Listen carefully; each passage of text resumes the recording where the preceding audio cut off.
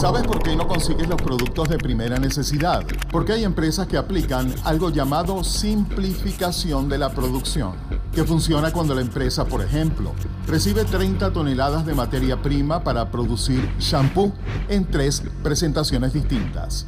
Para la presentación económica, mediana y grande, se destinan 10 toneladas en cada caso, simplificando la producción y contribuyendo con la guerra económica en el país. Esa empresa desvía la materia prima de las presentaciones populares y las utiliza solo en la presentación grande. El resultado, solo 3 de cada 10 venezolanos pueden comprar el shampoo.